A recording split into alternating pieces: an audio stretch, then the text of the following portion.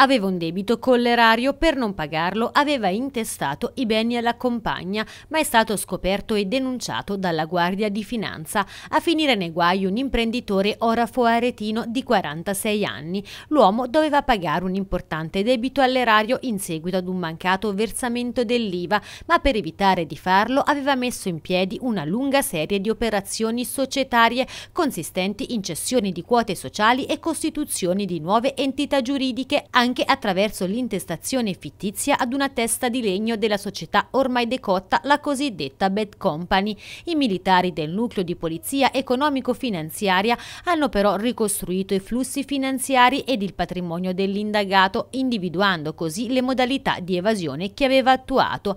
L'imprenditore è stato segnalato all'autorità giudiziaria per il reato tributario di sottrazione fraudolenta al pagamento delle imposte per il quale è stato richiesto alla Procura della Repubblica di Arezzo il sequestro delle disponibilità bancarie e di un immobile, un capannone ad uso industriale e commerciale, oggetto delle finte cessioni per un valore stimato di circa 90.000 euro. Il 46enne ha così versato le somme dovute nelle casse dello Stato per rientrare in possesso dell'immobile. Le liquidità così recuperate hanno consentito l'estinzione del debito tributario accertato sotto la vigilanza e con le modalità stabilite dalle fiamme gialle aretine mattine.